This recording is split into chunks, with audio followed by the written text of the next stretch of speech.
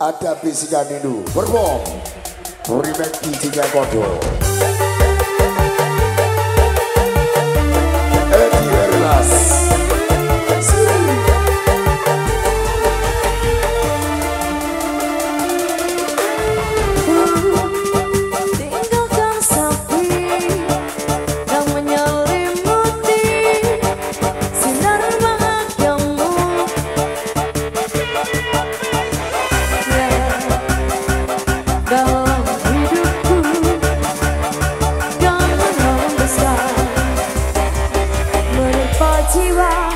time.